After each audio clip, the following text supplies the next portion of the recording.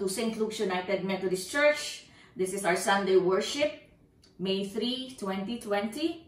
A few announcements. Uh, I would like to thank our organist, Jeff, um, also our soloist this morning, um, Julie Haas, and our reader, Chuck Varney. Okay, thank you so much for helping me in this Sunday worship.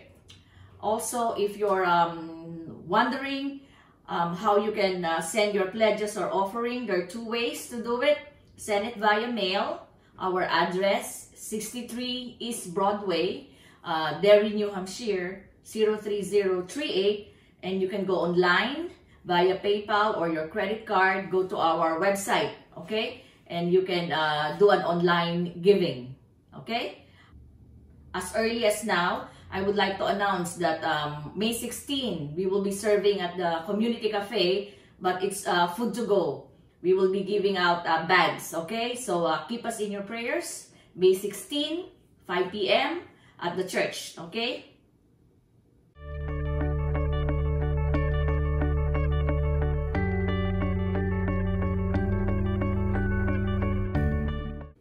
Join me in our call to worship.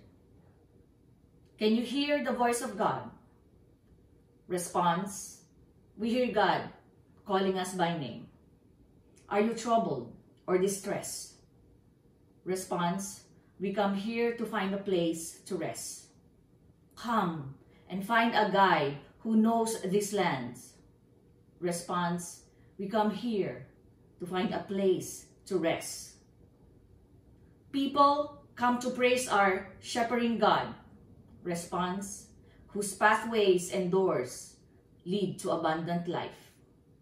Amen.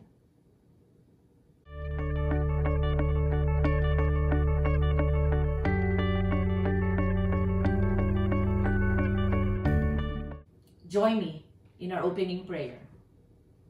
Loving Shepherd, you know our names. You care for us. When we face darkness, you walk beside us when we are searching for your love. You fill us with your presence.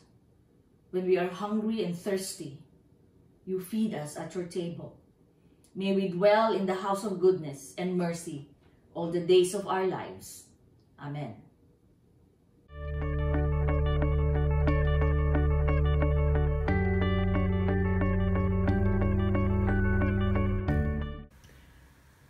Today's scripture lesson is the 23rd Psalm, the Divine Shepherd. The Lord is my shepherd, I shall not want. He makes me lie down in green pastures. He leads me beside still waters. He restores my soul. He leads me in right paths for his name's sake. Even though I walk through the darkest valley, I fear no evil. For you are with me your rod and your staff, they comfort me. You prepare a table before me in the presence of my enemies. You anoint my head with oil. My cup overflows. Surely goodness and mercy shall follow me all the days of my life, and I shall dwell in the house of the Lord my whole life long. Today's Gospel reading comes from John 10, 1 through 10. Jesus, the Good Shepherd. Very truly, I tell you, anyone who does not enter the sheepfold by the gate, but climbs in by another way, is a thief and a bandit. The one who enters by the gate is the shepherd of the sheep. The gatekeeper opens the gate for him, and the sheep hear his voice. He calls his own sheep by name and leads them out. When he has brought out all his own, he goes ahead of them, and the sheep follow him because they know his voice. They will not follow a stranger, but they will run from him because they do not know the voice of strangers. Jesus used this figure of speech with them, but they did not understand what he was saying to them. So again, Jesus said to them, Very truly I tell you, I am the gate for the sheep. All who come before me are thieves and bandits. But the sheep did not listen to them. I am the gate. Whoever enters by me will be saved, and will come in and go out and find pasture. The thief comes only to steal and kill and destroy. I came that they may have life and have it abundantly. This is the word of God for the people of God. Thanks be to God.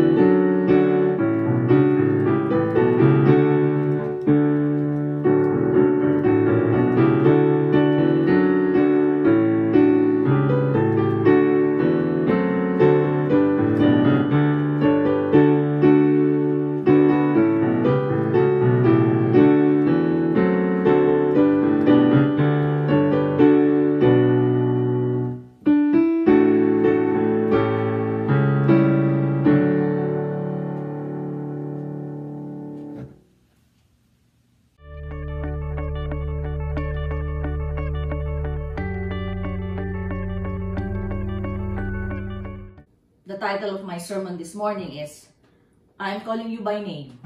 Come, follow me. I want us to go back and remember the time we woke up this morning. What was the first thing in your mind? Was it a Thanksgiving thought? Like, oh, it's Sunday. Yay! We're going to have a virtual worship. Or is it a prayer request? Like, God, I need you in my life. Or God, I am desperately in need of these things, of this and that. Or maybe, oh, it's Sunday, whatever. I'm hoping you didn't say that this morning, okay? But anyway, I'm sure out of those three answers I mentioned, somehow you are able to relate to one of them, okay? I would like us to go back to our prayer requests, especially prayers that pertains to God providing for us. We all pray, God, please provide for us. We need food on our table. We need a decent job so we can provide for our family.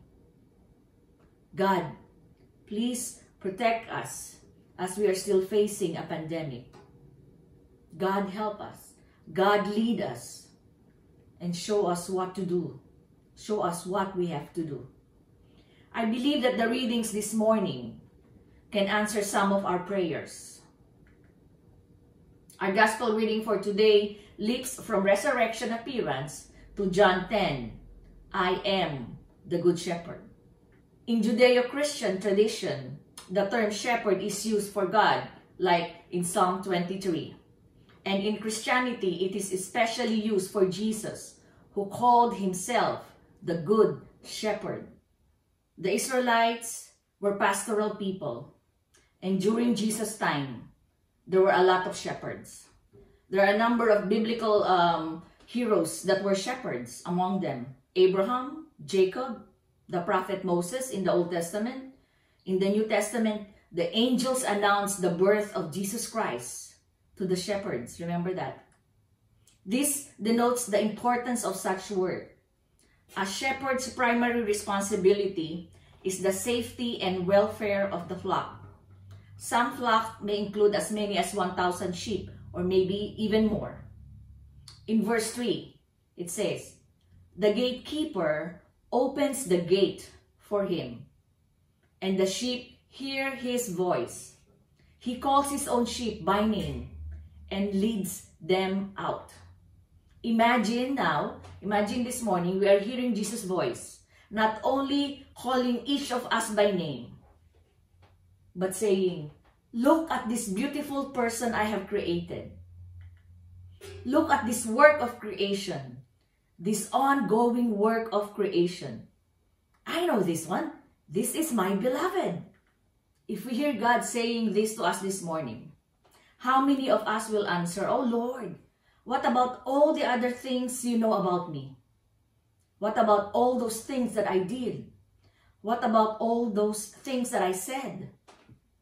What about the nasty and ugly stuff I am hiding? What about the distortions and the worn parts and failed parts of my body? The Lord answers, Oh, you mean those stuff that you're trying to hide? I see those. Remember, I have healed you. They are visible to me, and you must never forget that you are still my beloved. Remember, I know you. I know you even when you were still in the womb. And I guided you as a child. I have lived with you in the drama and exciting time during your teenager life, of your marriage life. And even now, I have provided you with work, with food on your table. I know the outcome of you. Don't you get it still? I know you, and I came to give you an abundant life. In verse 27, we read, Jesus says, My sheep hear my voice. I know them, and they follow me.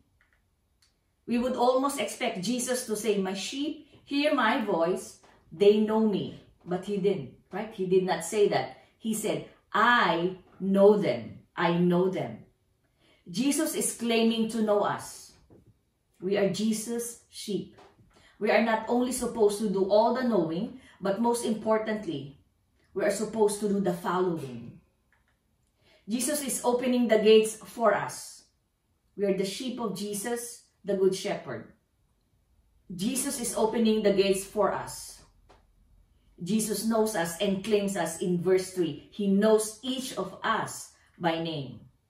Knowing us and claiming us goes to another direction.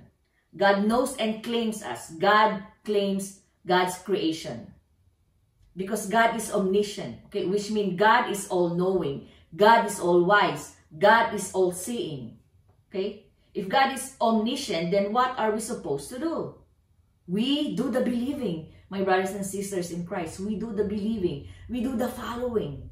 We do the praising. And most importantly, we do the serving part. We serve we have to recognize also that we do have enough. Okay, we have enough. And then we have to recognize what we really need. What do we need, my brothers and sisters? What do we need? Jesus says it in verse 10. I came that you may have life and have it abundantly.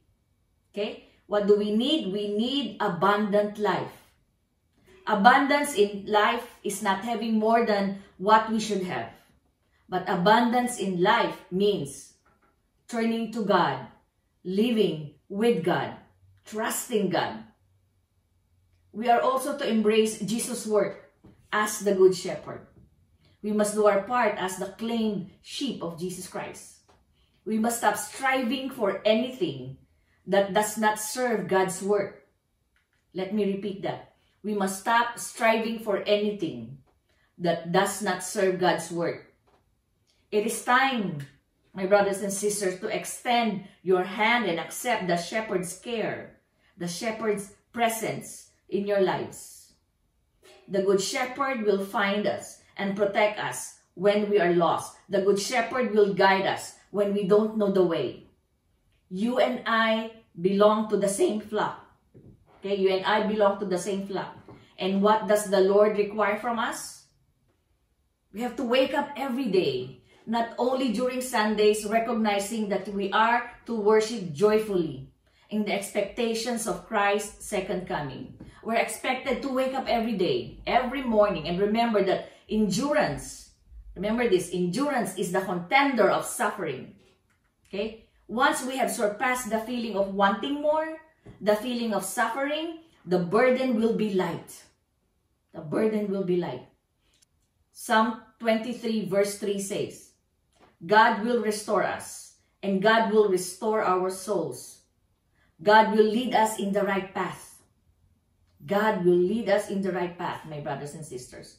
The burdens that we are carrying will not be so heavy once we open up ourselves to Jesus Christ, the Good Shepherd, especially at this time. Especially at this time. Our identity and association with Jesus, the Good Shepherd, can make a sheep feel safe. Safe. S-A-F-E. Okay. John 10 verse 9. I am the gate. Whoever enters by me will be saved and will come in and go out and find pastures. During that time, sheep pens were constructed with a single and narrow opening. The gatekeeper then can control which sheep can go in and go out. And so they will find pasture. Okay? When someone is experiencing so much stress in life, whether minor or major one, most people quote Psalm 23. Why? It is also considered one of the literature's greatest medicine. It can bring calmness and it comforts the one who is hurting. It can comfort the one who is worrying. Jesus also claims, I am the door. So far, this metaphor goes, Jesus means he is the gatekeeper, the person who controls the access to the pen.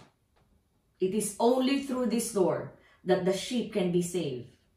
This uses a Greek term, sotesetai, which means being kept safe or being healed or being rescued from destruction. Jesus is the door and the only door, an idea often repeated in the New Testament, John 14 verse 6. Jesus said to them, I am the way, the truth, and the life. No one comes to God except through me. This also supports the New Testament's consistent teaching that Jesus Christ is the one and only way by which any person can be eternally saved. I will repeat that. It is only through Jesus Christ by which any person can be eternally saved. Now, I would like to ask you, if you are among the sheep, okay, are you going to enter the door when Jesus calls you by your name? Are you going to enter the door when Jesus calls you by your name? Some people claim they're Christians. Some people claim they believe in Christ. Some really proclaim and profess, I am a follower of Jesus Christ. But when Jesus is calling, when Jesus is calling, what is our response? Do we run away from Jesus Christ? Do you flee immediately? Are you constantly trying to escape especially if the calling of Jesus, call if the calling of Jesus Christ will entail some hardships on your part. Do you take off immediately because you realize that the calling of Jesus Christ will require you some sacrifices? This morning, my brothers and sisters, Jesus Christ is again calling you by your name. Are you going to respond? In the name of the Good Shepherd, I hope and pray that you are going to respond. You are going to respond to Jesus' calling. Because Jesus is the only way for us to be saved. Because with Jesus Christ, we are all safe. Again, S-A-F-E also.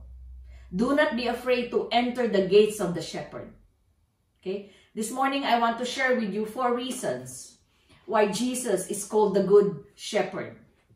Okay? During these unprecedented times, we are thinking ways to be safe. Am I right? Okay? We're thinking of ways to be safe. And today, not only that Jesus is calling us to continue our discipleship, but also I believe that Jesus wants us to feel confident that when we hear Him calling us, He wants us to feel safe. Not just we are going to be saved, but He wants us to feel safe. Again, S-A-F-E. Okay, so acronym, S-A-F-E. S Jesus is our saving shepherd, our saving shepherd, who after his resurrection continues to work in the saving act of humanity. When you and I get lost, who saves us? Jesus Christ. Once you realize that even one ship is missing, what does he do? He rushes and seeks his way so that one, so that that one lost ship will be able to come back to the flock. And it could be neither one of us, my brothers and sisters. But we must be rest assured that Jesus Christ will never abandon us. The shepherd who left 99 sheep in the fold searched for one sheep which had wandered away. And when Jesus found the lost sheep, he held the sheep by his hands is an ideal example of a saving shepherd. Safe we now go to letter A. Jesus is our attentive shepherd. Attentive shepherd. Jesus knows us by name. And Jesus knows our every hurt. Jesus knows the pain we are experiencing. We should not feel that Jesus is not listening to our cries or to our prayers. Why? Because He is our attentive shepherd. He is attentive to our physical need, but most importantly, during this difficult time, He is also feeling our spiritual need. He is healing us, my brothers and sisters. Safe, S-A-F. We go to letter F. Jesus is our faithful shepherd. Faithful shepherd. Jesus is not wishy-washy, okay? Like many of us. He is not indecisive.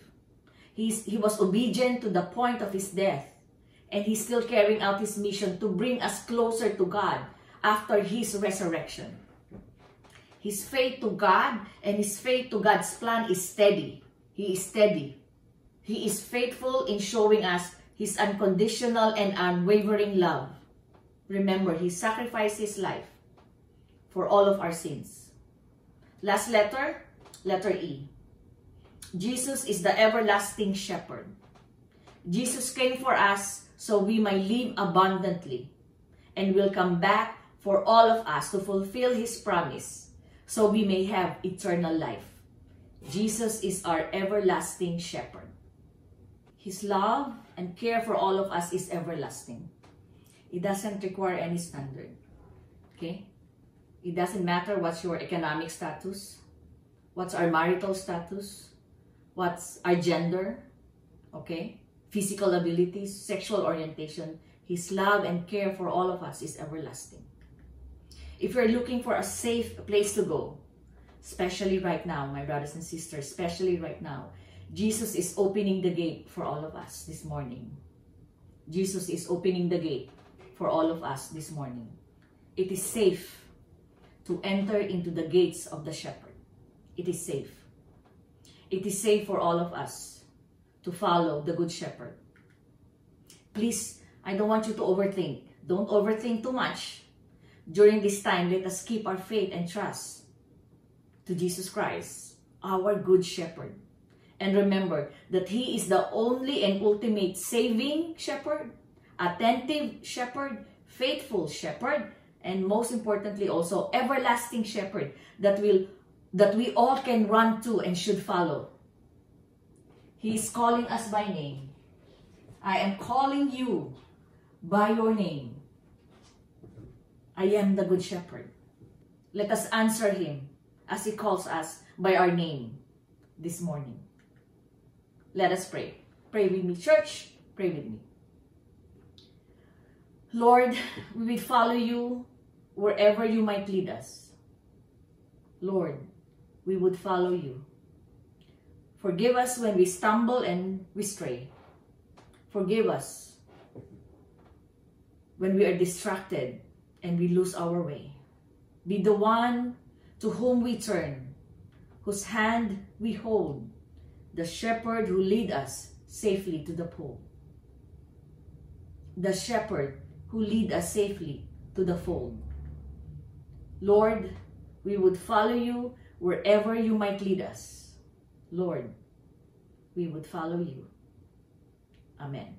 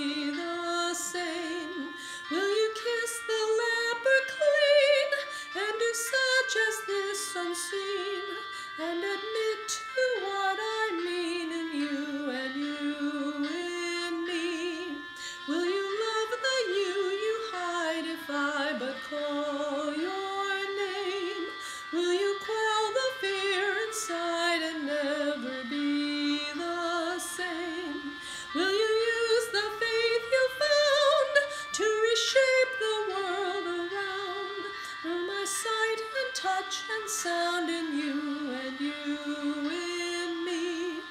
Lord, your summons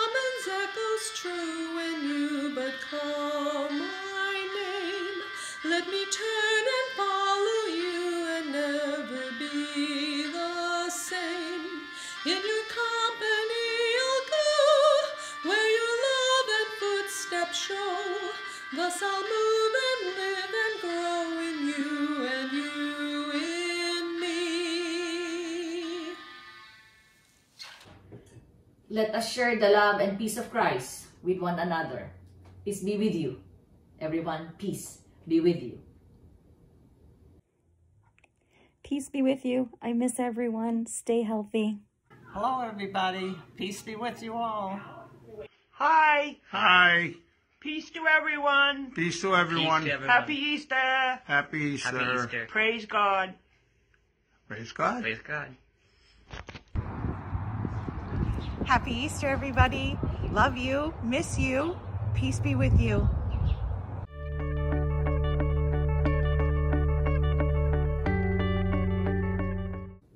Join me in our love feast for this morning. May the God of gates be with you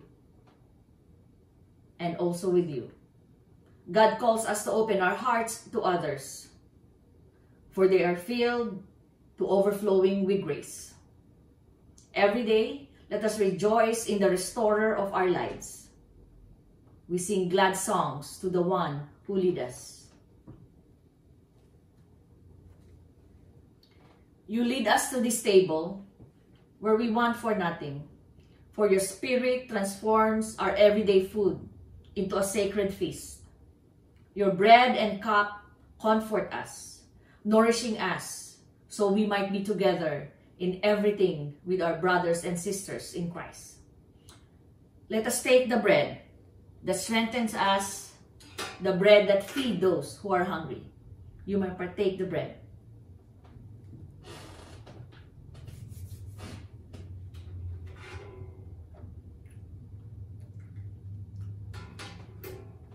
Let us drink the water or juice that quench our thirst and those who need it.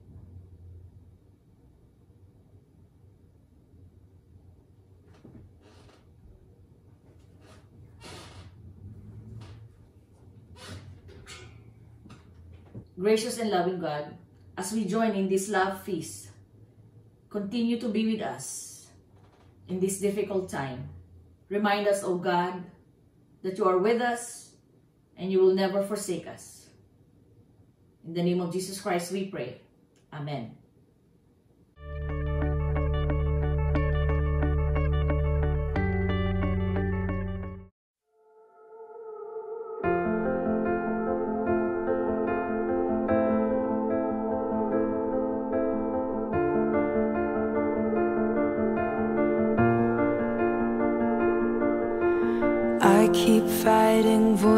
voices in my mind that say I'm not enough.